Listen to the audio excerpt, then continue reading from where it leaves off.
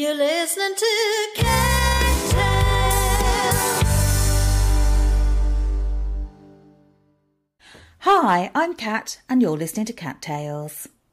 Unleashing his fifth solo album, When Life Was Hard and Fast, Ricky Warwick aimed to deliver a collection of songs with the simplistic melodies of Tom Petty and the Heartbreakers, charged with electric hedonistic fury of Johnny Thunders and the Heartbreakers, and boy, has he done that. Somehow, the almighty Black Star Riders Thin Lizzy frontman has managed to squeeze in the release of an album amidst sell-out live virtual shows and lockdown, all with a little help from his friends. And of course, these are no ordinary friends. As well as ex Buckcherry and Keith Nelson producing the record, it features another ex Buckcherry band member Xavier Muriel alongside Black Star Riders Robert Crane, and guest appearances from Duran Duran's Andy Taylor, Thunder's Luke Morley, Def Leppard's Joe Elliott, Guns N' Roses' Dizzy Reed, and none other than Ricky's daughter Pepper. This is the other one with Ricky Warwick. Yeah, hi, Kat. Hi there, how are you doing? I'm doing okay. How are you? I'm not bad at all, thank you. It's so nice to speak to you again. It doesn't seem five minutes actually since we were on the line last time. A whole, a whole lot's happened since last time, right? Oh, you're telling me, you're telling me. Crikey, it was back in uh, about May, June last year we spoke, didn't we? And and now nine months later, you've got a brand new album out. So you've been busy. well, uh, well, the album was the album's been done for two years. The album was done, recorded in, in 2019. Wow. So it's been sitting on the shelf. Yeah. What, why have you been sitting on the shelf then? What's been going on here? What do you Well, why have I been sitting on this shelf? Because Black Star Riders put a we released the State of Grace at the end of 2019, Yeah. and we were lucky enough to get a tour of Europe in t- right at the end of 2019, and then 2020 we were supposed to be out all year with Black Star Riders. Obviously, because of the pandemic, that didn't happen. So my album was always scheduled to be released in, in 2021, regardless of the pandemic, because I thought that we were going to be busy with Black Star Riders. And you know, it didn't seem it seemed stupid when I when all the Black Star Riders stuff got cancelled. It didn't make sense to move the album forward into a full on pandemic. You know, I was hoping that by obviously this time we would, would be in a better place. Um, which we're slowly getting there, but you know, really, honestly, that that's the real reason. You know, Yeah, so it's just been sitting there waiting for the right time, and there's nothing better than that, is there, really? Yeah, I mean, when is the right time? I mean, it was always, like I said, it was always scheduled for February 2021 release, regardless of the pandemic. Yeah. That, that had nothing to do with it. Even before we knew there was going to be a pandemic, we were going to release it in February 2021. Yeah. Oh, brilliant. Well, let's talk about that first then, shall we, Ricky? Tell me all about it. So, when life was hard and fast, that sounds uh, that sounds exceptionally, uh, let's say, a summary of your life. I think. I'm hoping now you're not going to tell me that life is slow and soft, but you know. life is hard and fast. Well, but yeah, parts of my life have been incredibly easy as well, but I've worked very hard to make sure that those parts of my life are, are easy, if you know what I mean. Yeah. Um, you know, it, the title sums up a time, a golden era of growing up in the 70s and 80s prior to cell phones, prior to being chained to the computer. Um, when you had that sense of abandonment and freedom um, that, you know, you you walked out of your house when the sun came up, you played in the streets, you ran around, things happened, and you came back in when the sun went down when it's time for your tea. Yeah. I think, you know, the that whole thing now that we're you know, if you arrange to meet somebody now, you, you, I mean, I'm, I'm the same. We'll send them 35 texts before. I'll see you at 7:30 outside the pub. You're texting right up until you meet that person. I'm five minutes away. I'm, you know, I'm, I'm turning around the corner. I'm, I can see you. I can see you, and you, you, you're, I'm, and, oh, I'm here, and you're right. And it's, you know, when you think about it, it's pathetic. It's absolutely pathetic because back then, if you made it, if you made a time and a place, you either showed up or you didn't. And if you didn't show up, other things would happen. You'd bump into other people, or you just, you you know, there was this sense of just wildness and abandonment. I think we've kind of lost a little bit now. And, you know, I'm, I'm not one for really harking back to the past. I'm certainly not one that reminisces, but I think you have to go back to the past to move forward. And certainly growing up in those times shaped me into the person that I am. Yeah. And, you know, that song's really about my hopes and dreams, my dreaming of being a being a rock and roll roll star, dreaming of getting out of Northern Ireland, dreaming of seeing the world, dreaming of, of playing guitar on big stages, all you know, as you do it, you know, Yeah. when you're a kid, when you're 13 or 14. That's really the essence of the song. Yeah, amazing. I think you're absolutely right about changing times and capturing that in a song is is terrific because we do forget now that it is all about immediacy, isn't it? And I think what's Well, lovely to hear this is that you've actually had this album on the shelf for a while and then you've yeah. chosen to bring it out. That's almost the you know the summary of what that song is about, isn't it? Well, I mean, like I keep saying, I didn't choose to bring it out. It was always scheduled to be released when it's going to be released. Nothing, nothing has changed. I didn't adapt anything for the Mm. pandemic. The album was always going to come out in February 2021, so I've stuck to that. Um, I mean, I didn't when I wrote it and we recorded it. I had no idea this pandemic was coming. Like, like, and nobody else. I mean, it was Mm. it, it, it hit me for six, like it hit everybody else for six. But you know, and I'm not slagging off the internet because God, God forbid, how difficult would it would this have been if we did not have the internet and did not have our phones to stay in touch with each other during this time. So there's a lot of pluses about it as well. But um, I think also we've lost something too. I think we've lost um, a bit of innocence. I think we've lost the physicality. You can sit in your arse all day now and, and never get off the couch and, and have everything you need delivered to you. Everything, Yeah, I know. you It's know. Yeah, it makes you feel that actually we're becoming a bit more sort of separated, aren't we, from reality and Well, people we're, and we're social creatures, you know, and, and I think we're losing that. You know, we're losing that interaction. Everybody talks now in emails. Nobody picks up the phone to actually physically talk anymore. mm, And, you know, it, it makes me giggle a little bit because people are kind of going, oh, you know, this is this is so awful. I've lost my sense of freedom. I'm like, well, you were kind of chained to your phone and you weren't really going out that much before the pandemic, you know. So yeah, it's like right, suddenly, it? suddenly, suddenly you're bemoaning that "Oh, I can't go here and I can't. Well, you know, a lot of people were like, oh, you know, uh, the, the gig's just down the road, and I saw the band three weeks ago, and I yeah, I just sit in the couch, and you know, EastEnders is on, and I got my my laptop, and yeah, I'm not going to, you know, that that was we were all guilty of that before. You know, I'm Yeah, listen, I'm as guilt, I'm I'm as guilty as the next person. Um, I'm I'm certainly not saying I'm I'm any different because because I'm not. But I think this has taught us a lesson. I think this pandemic has totally taught us, should have taught us a lesson about how we um, interact and, and how we move forward. yeah, I tot I totally agree. I mean, it's interesting though, we're talking about phones and texting and right up to the minute you actually see somebody. But actually Yeah, looking at your album there, there is a track on there that you recorded on your phone. yeah, absolutely. that's incredible. So Clown of Mercy was done in that way. Was that intended or was it just happened to be sort of like a bit by accident? Clown of Misery. Clown of Misery is the title of the song. Yeah. Um, um, look, you know, again, you know, I'm, I, I, it sounds like I'm slagging off technology. I'm not. It's great for so many, many things, and I do, and I, like everybody else, I use it because it helps me. And everything that I write now, I sing into my iPhone because before I would sing it into a cassette player. Hmm. But obviously, the, the iPhones are far more advanced and uh, so, a much better sounding uh, version of, of the old cassette players that we all used to have. Hmm. So if I have an idea or, or a riff or a song, I'll just click on the phone and I'll just pick up the guitar and I'll sing it into the sing it into the phone. And that's what happened with Clown of Misery. Um, you know, I, I had pretty much the song written very quickly, picked up the phone before I sort of forgot any of it, and sang it just direct into my iPhone, and then sent it to Keith Nelson, who co-produced the album with me. And he's like, man, he said, the vibe on this is great. He said, we should just lift this from the iPhone, distort it a little bit, It may make it sound like an old 78 that maybe Hank Williams or, or Woody Guthrie would put out in the 40s, put some crackles on it. Because he said the essence of what you've got there, we're not, we could polish it, we could go in the studio and re-record it, but he said, I think we'd lose the, the, the rawness and the beauty of what, of the intensity of what you have. And I thought it was a great call on his part, really was. I was about to say about that rawness because I think that's what you've captured there. It is again, it, it does have that sort of bygone feel about it, as you say, because of the, the sound and obviously that sort of you know the Yeah. novelty of it.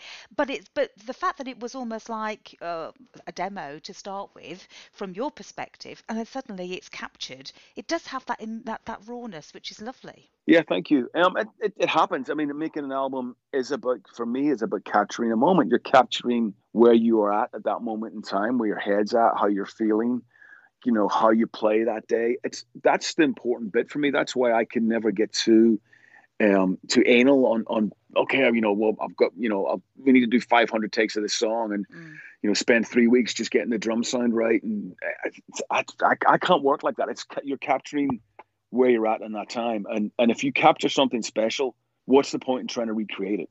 Yeah. Do you know what I mean? If you've got, you know, what's the point? If you already got it, it's done. Well, Move on.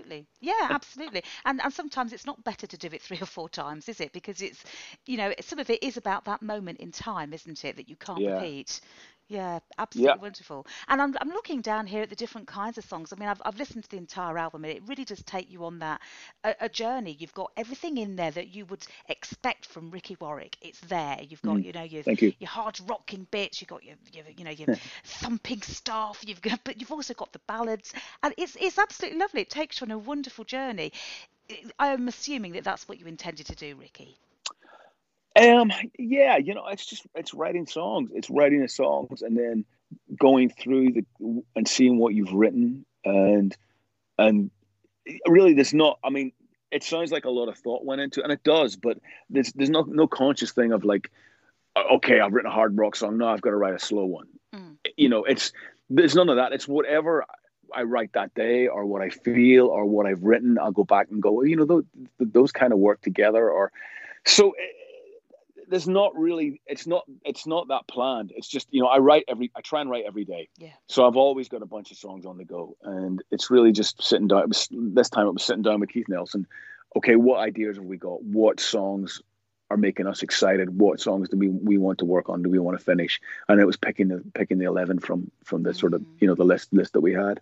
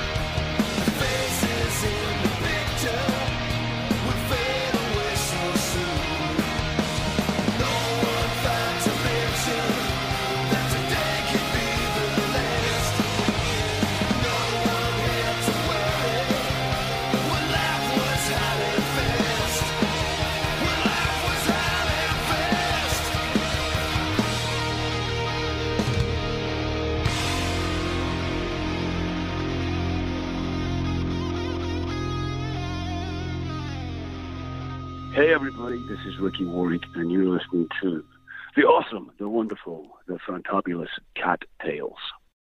because lots of variety and that's what i love about this you know you you go Thank from you. one extreme to the other so it is Thanks. almost like how can you summarize it actually you can't you have to listen to the whole thing Well, you know, we actually we actually sequenced the album um, with that in mind. We, we you know we didn't sort of think okay it's going to be online the way people do now. We thought okay let's sequence it like you know it, it's it's an old vinyl album with an A and a B side. yeah So we actually put a lot of time into into the running order.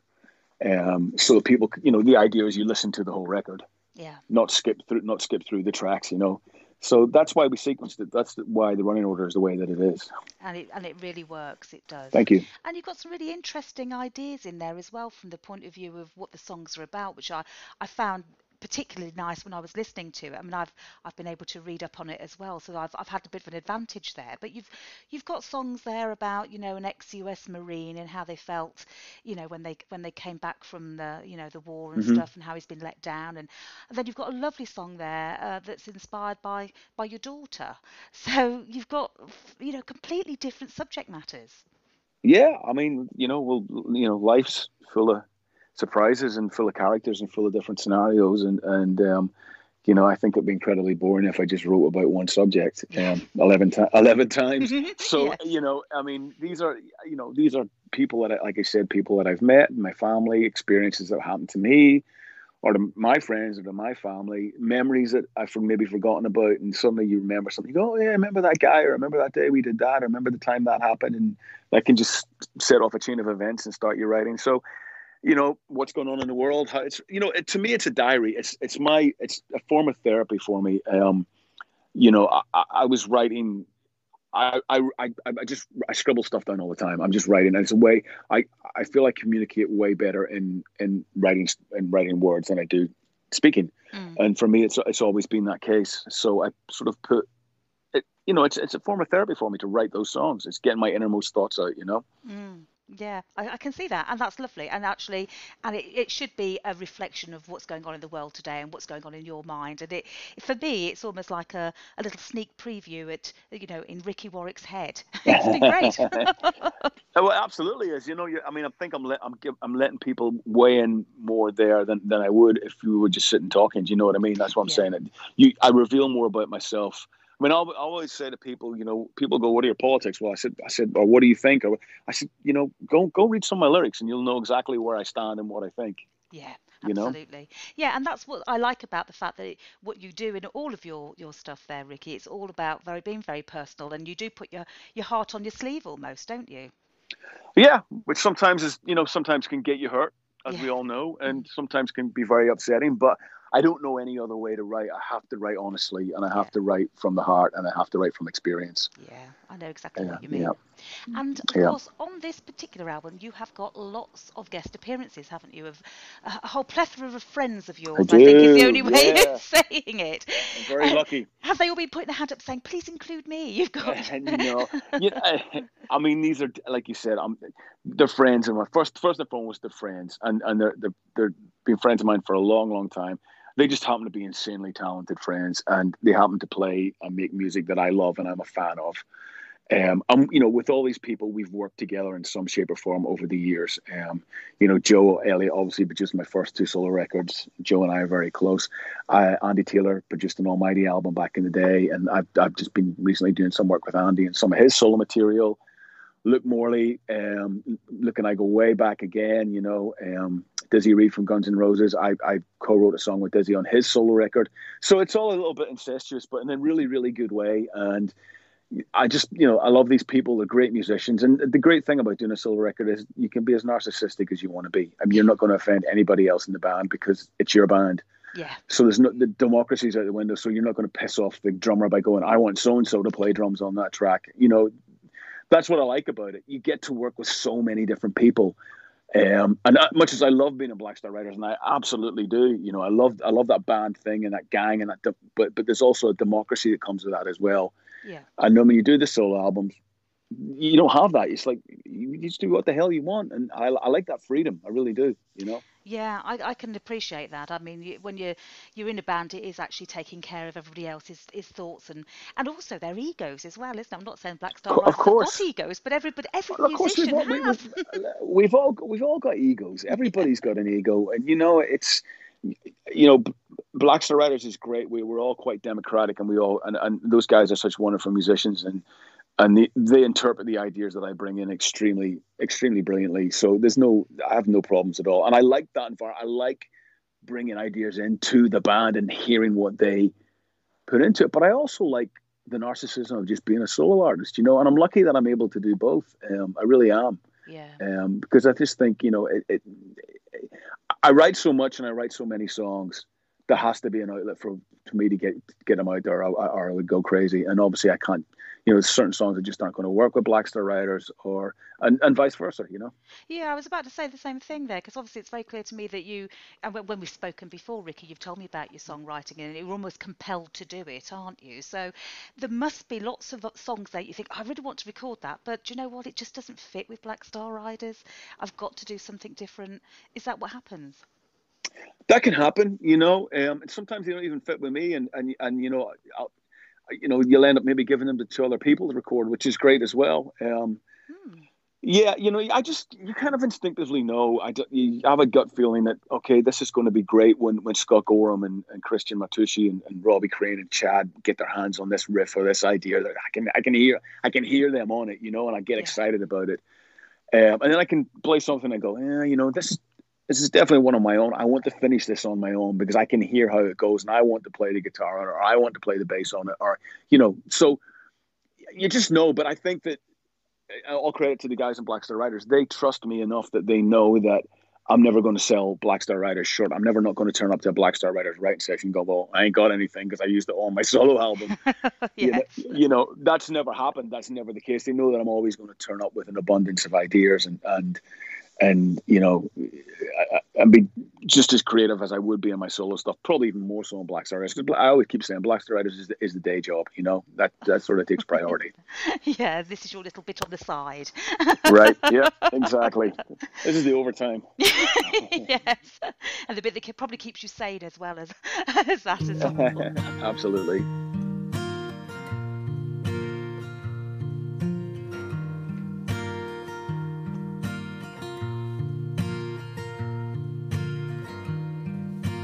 Time don't seem to matter when I'm alone with you. There's nowhere else I'd rather be. This is all I wanna do. If wishes were like horses beggars they would ride. If distance wasn't measured, I'd always be by your side. We're all searching for the answers.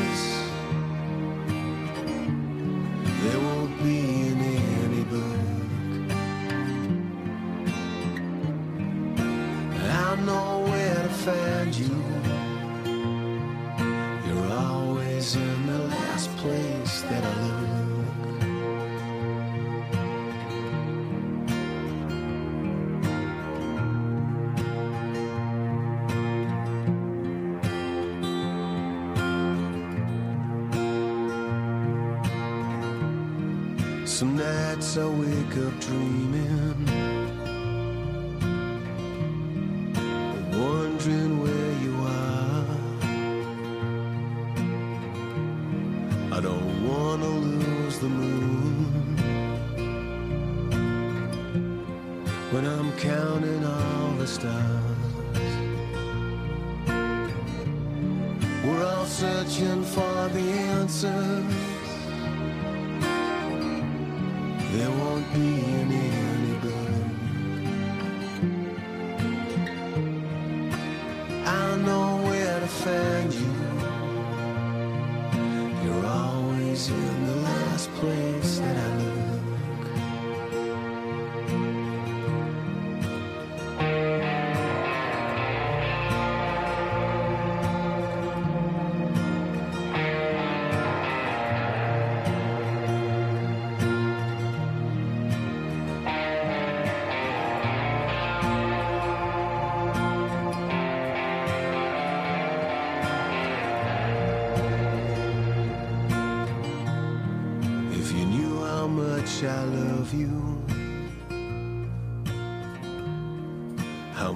much I hate to leave.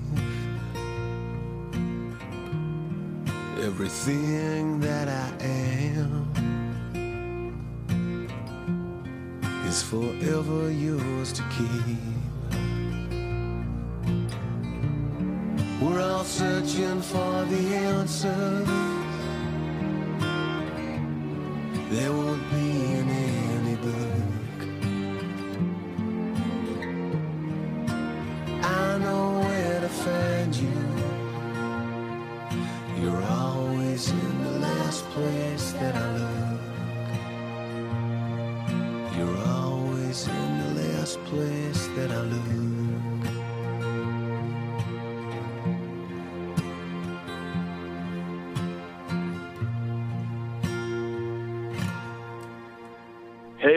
this is Ricky Warwick, and you're listening to Cat Tales. So come on, what else have you been up to then, Ricky? You've obviously got the album now is, is out there, but what have you been doing if you've not been recording this album? Tell me what you've been doing over the last nine months. Um, I've been writing uh, Mm. a lot. I've already written the next solo record. Oh, That's wow. ready to go. Uh, we've written and demoed the next Black Star Riders album, which Yeah. we're waiting to record in the summer. So that's been written as well. Uh, I've been working, I've written a couple of songs for other artists, which I've been working on as well. Uh, I've been doing an online show every month, uh, playing an online show every month. Yeah, which I've been doing for the last eight nine months now. So I've been keeping really busy. I mean, I you know, in a weird way, it's really strange. I was you know talking to, to my wife the other day. I, I've never been busier it's funny, isn't it? you know, it's funny, but yeah, and I, I haven't because I've been, you know, I've been, I've never done more promo. The promo's been amazing that I've done for the record, you know, and I've been working on so much stuff, and it just, it's been great, and it's been uh, been amazing to be that busy because of obviously everything that's going on that obviously is beyond our control, but it's really kept me focused and sane, and and I'm very grateful for it. But it's it's been good, you know, because I think before you very much had the time where you would go on tour for six weeks and and come home exhausted yeah. and then have that two or three weeks where you're back home just acclimatizing back to I hate the word normality, but I suppose it is. Just just you know, doing the dishes and taking the kids to school and, and, and just be, all, mm-hmm. all that kind of stuff that, that you know you're in when you're in that bubble you're on tour you're not doing. So you tend to not go near a guitar or not or then maybe I wouldn't write a song for a few weeks because I'm just I've, I've come back off a long tour and I just want to get to know my family again. But with this now it's different. I'm not going on tour. Yeah. So I feel that I have to get up and be productive every day. You know, it's almost like I've got a nine to five job. I mean, I get up now and I'm like, okay, going to my little studio. I'm going to work on something. If I got promo to do, is there emails I need to answer for, for business, that kind of thing. Um, so it, it's it's weird, you know, because it's it's it's like there doesn't seem to be enough hours in the day at the minute, and that's just insane when you think that we're all in a lockdown. It's just I don't know. I know exactly very what lucky. you mean. It's weird, isn't Yeah. it? It is, yeah. I think what I love about what you've been up to, you know, I, I- I follow you obviously on, on, on Facebook and stuff, you. and you know, I've seen Yeah. your work, and I know that you're out there doing a lot on the internet and still reaching for your fans. So you've still got that connection. It seems to be like you've really embraced that new way of living uh, because it's not going away, is it? It's going to be there now. I think so. I mean, who know? You know, I know we, you know, things are looking obviously a lot better now with the vaccines, and, and obviously we're seeing, you know, infection rates thankfully coming down. But what's going to be the new normal? What's going, what's it going to be like in seven or eight months when there is some kind of normality, normality back in the world? You know, how nobody knows, and and I think that the online shows will maybe continue, maybe hand in hand with the live shows. Maybe you know you'll you'll you'll do the odd online show now as much as you'll do a tour. Um, I think people have accepted that as part of it. It's not the same, and I know it's not the same, but it's quite good fun because, like you said, you can really interact with the people during the that show. I mean, I I, I play on the platform, stage it, and the the people out there can interact and send in comments while I'm playing, and I can see these comments, and you can talk to them, and Yeah. it's kind of cool, you know, because it's not like you know when you're doing an acoustic show and people are talking through it and they're interrupting you. It's like you can hear their comments and what they're saying, but it's quiet and it's written and you can sort and you can reply to them you know Yes. so it, i kind of like that you know it's kind of cool Yeah, I think I can see you you continuing with that. I really can because it's. I think it almost goes hand in hand with that live performance when we finally get back to that. Nothing's going to take away seeing that audience, though, is it? You know, no you know, nothing them enjoying themselves and jumping up and down. no matter how great technology gets cat no matter how advanced we get you will never replace that physical and human emotion of standing in a in a yeah, hot sweaty venue and just really absorbing the music and, and, and social interacting with the people around you you just can't replace that it's the best thing Yeah, and and that's of course what drives you anyway, isn't it, as a musician, to have that the, the opportunity to perform and see what and see the immediate Absolutely. reaction of the audience. Yeah, yeah. You you mean you want to see what you want to see your songs live and breathe. You want to see them connect with people. You want to see people singing along. You want to see people react to to, to the music that, that that that you've written. Well, I do anyway. You Yeah. know, and and to me, that's all about writing the song, recording it, people getting to hear it, and then taking it out into that live environment and and, and connecting with those people one on one. And Yeah. um, it's just it's hard to beat. You've been listening to Cat Tales. To listen again to this and other tales, go to cattales.co.uk.